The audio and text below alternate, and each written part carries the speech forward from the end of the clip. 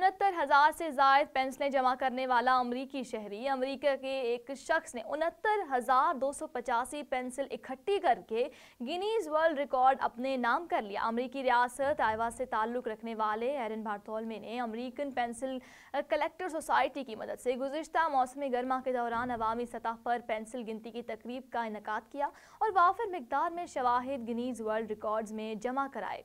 इदारे की जानब से जमा कराए गए शवाहिद की तस्दीक के बाद एरन को दुनिया का सबसे बड़ा पेंसिल का मजमु रखने का रिकॉर्ड तफवीज़ कर दिया गया। एरन बार्थोलमे ने मीडिया से बात करते हुए कहा कि एदाद के अतबार से वो जानते थे कि वो रिकॉर्ड बना सकते हैं।